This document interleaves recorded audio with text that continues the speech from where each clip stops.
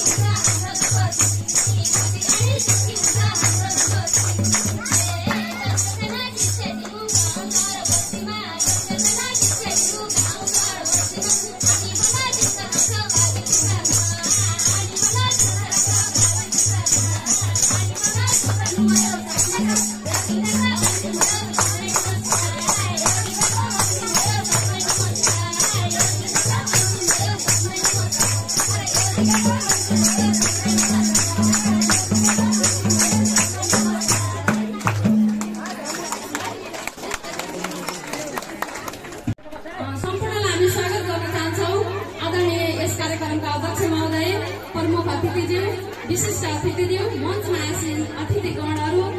एवं निर्णायक मण्डलज्यू